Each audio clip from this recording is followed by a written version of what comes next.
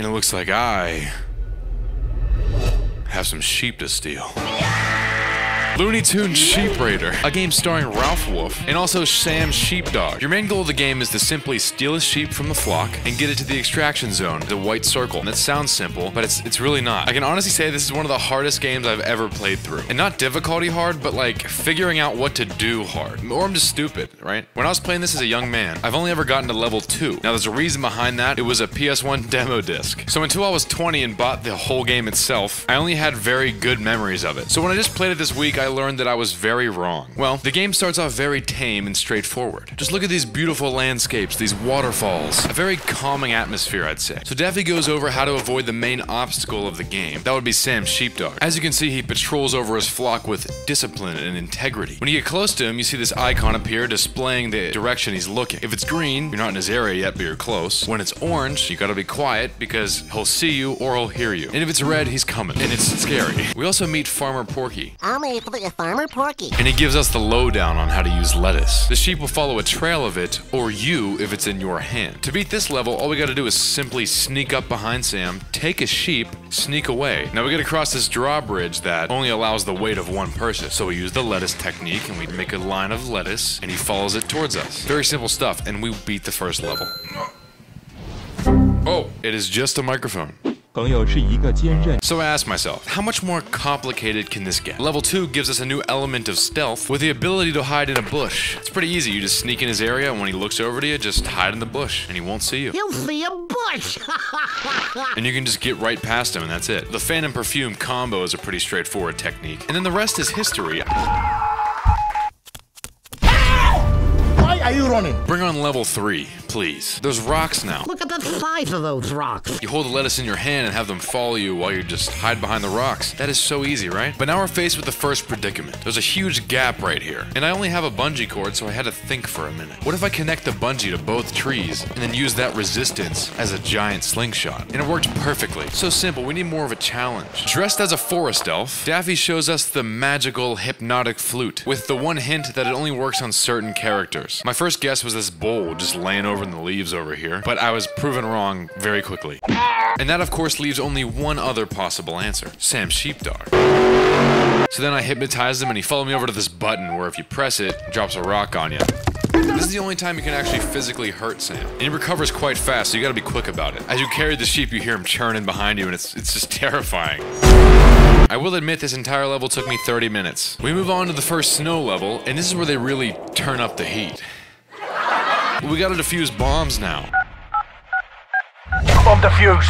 Other than that, you got Porky's lettuce technique, uh, some catapult adjustments, and that's pretty much it. But it also took me 30 minutes as well. I'd like to buy all your chocolate. Now, the frame started to really drop at this level, so it was really hard to play as is. The first problem I had was this red key looking thing. That's a metal detector, but I didn't know what it was. So not knowing how to use it, I blew up a couple times in the minefield. Then eventually I figured it out and found my path. Now once you make it past, you gotta dress as a sheep. Wolf in sheep's clothing. This is one of my favorite mechanics of the game. You can just bleat to seduce the sheep to follow you. But now the final room hits you with a brain teaser. Knowledge. There's two gates, two buttons, and two blocks of ice. But only ice block A can press a button, and ice block B can only move vertically up and down. If I use ice block A to open the first gate, place sheep on ice block B, push said sheep forward, and jump on the button myself with good timing, I can open the second gate before the sheep gets there, and the sheep on the ice will get pushed to the gate, and I can grab the sheep and win. Oh! So like I said about frame drops, level 7 I played in slow motion basically, so it was pretty hard to even see what the hell was going on. Level 8 had me thinking about Stranger Things, you know? This is Stranger Things, if you don't know what that is. So at the beginning you're given a clock and a seed. But after some thinking, it became clear to me that the clock is a time portal that you activate to traverse the upside down. It took me some time to figure it out, but if you plant a seed in the nether, it grows a tree in the overworld that you can climb. You can also take monsters and bring them to the portal with you, where they essentially become powerless. Farmer Porky's lettuce strategies once again prove flawless, and we're faced with a new problem. There's a bull in the way, and he loves the color red. You go through the portal, and hey, he's red, so one thing leads to another, and we finish. Level 9 introduces us to the little robot. Comes in the clutch in the near future. And to make a long story short, I shoved a whole bag of jelly beans. Used the robot as a distraction. Sam has some lettuce, but he got bear traps in it. And when he runs over to deal with the robot, you Mission Impossible style bungee down onto some onto some moss and extract the sheep flawlessly. It's a very nice exit. You just shoot up. It's that easy and you're done. I put a whole bag of jelly beans up my. Moving on. Yay. Level 10's when they really start saying "F- you. After pulling the old honey bees trick on Sam here, you take the sheep into the castle where then the Gossamer fight begins. I think that's how you pronounce his name. The only thing is, they give you no instructions on how to do it or what to even think to do. All you know is that he jumps and a little wave goes around. So all you gotta do is this. You gotta sprint around and make him fall. Once he falls, you get timer. And you gotta jump on these platforms to activate a light beam. And then repeat three times, with a third time being very time sensitive. And you gotta time it perfectly just to get the light on him. And then he falls, makes a bridge, you cross it, and you win. Listen, I was overwhelmed at this point. Daffy's bringing out schematics, and I, I don't even know who I am anymore. Oh god, now level now level 12. There's ghosts. There's so much to digest here. You start off in a hedge maze with a bird's eye view. Pac-Man style ghosts that you can suck into your vacuum once you get adequate battery power. You get dropped a ghost costume and a decoy sheep for later use. Once through, you dance with the ghosts, doing Guitar Hero style button timing. And now that you're through that, you have a sequence that goes like this.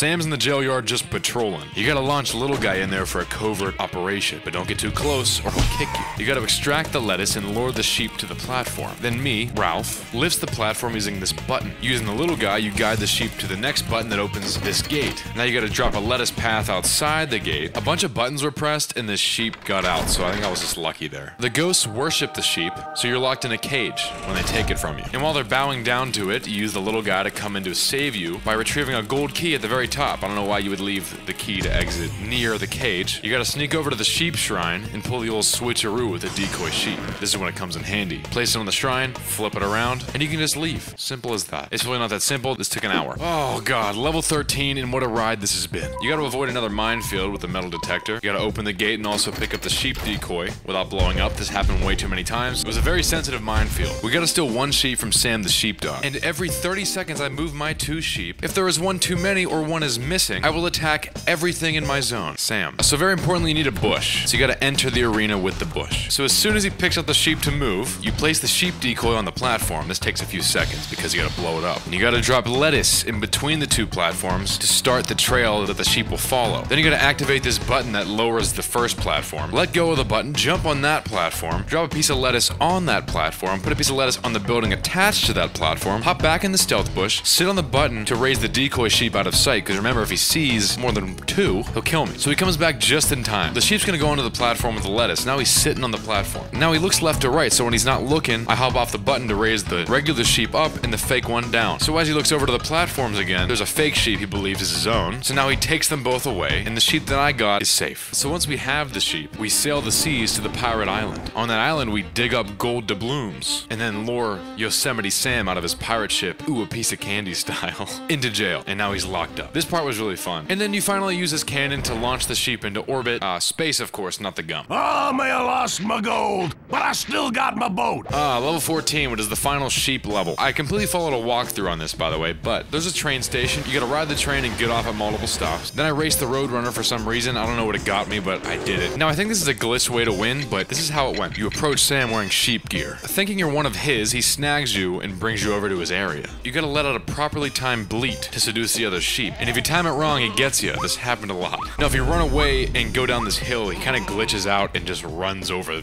Stop right to there, nowhere. criminals. Then you can just walk right past him and win. And I was thankful to Jesus. Oh, Daffy then announces your victory. The last sheep! You did it! And out of nowhere, Marvin the Martian crashes through the ceiling.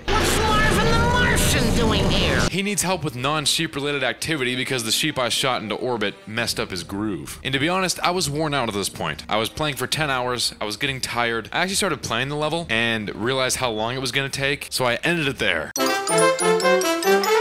So what are my overall thoughts on this game? This game is actually really hard to figure out. It seems a lot easier when I wrote it down, but just figuring it out was so hard. I literally feel smarter after playing it. Let me know down below if you played this game or if you had the troubles that I had while playing it, even as a 24 year old. Even just playing the first four levels, it's worth just giving it a try. Who doesn't like stealing? Well, anyway, thank you guys so much for watching once again, and it looks like I got some sheep to steal.